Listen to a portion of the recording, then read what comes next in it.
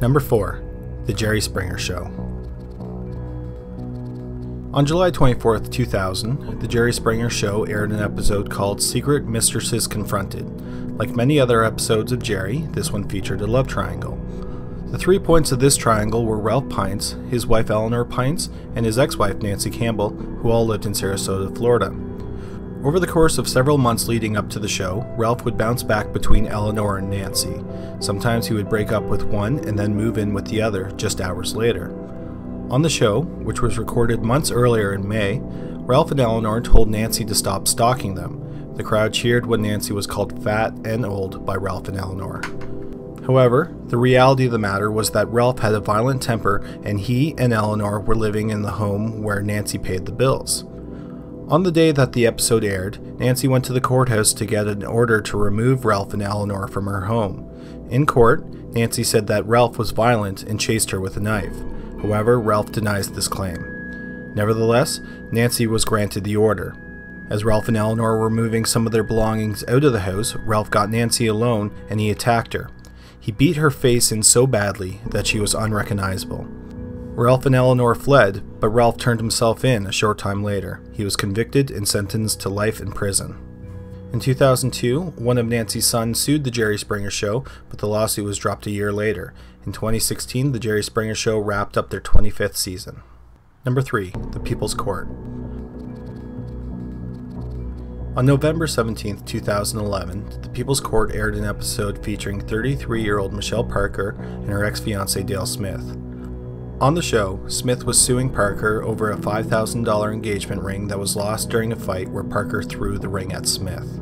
During the trial, Michelle Parker said that Smith had been violent in the past and he had a problem with drugs and alcohol. In the end, the judge said that they should split the cost of the ring. Just hours after the episode aired for the first time, Parker went to Smith's house where she dropped off their children, and that was the last time Parker was ever seen.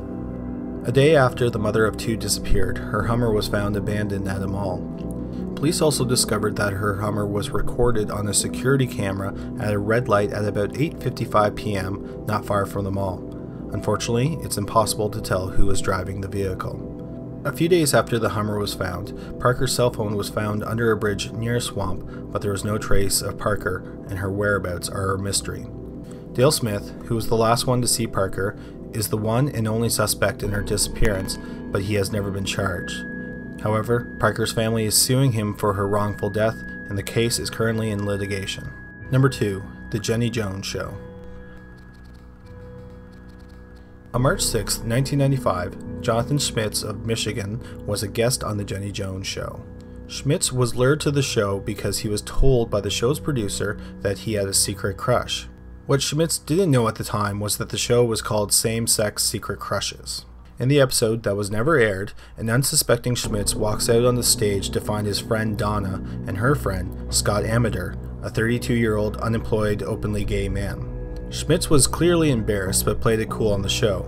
He even kept his calm when he heard Amedure talk about a fantasy involving him, whipped cream, strawberries, and champagne. Schmitz said he was flattered, but he was heterosexual. While Schmitz appeared to handle the news well on the show, the situation ate away at him. Three days later, Schmitz and Amedure were back in Michigan, and Amedure left a suggestive note at Schmitz's house. Schmitz found the note and became enraged. He bought a shotgun, went over to Amedure's house, and shot him twice in the chest.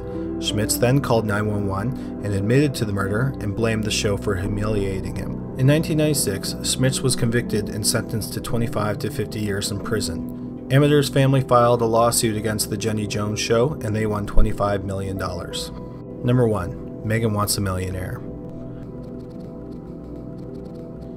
Megan Wants a Millionaire was a bachelorette type reality show that could have easily been forgotten about had it not been connected to a brutal murder. The premise of the show was that Megan Hauserman, a contestant on two other reality dating shows, was trying to find a husband out of 17 wealthy bachelors. One of the contestants was Ryan Jenkins, a Canadian real estate developer.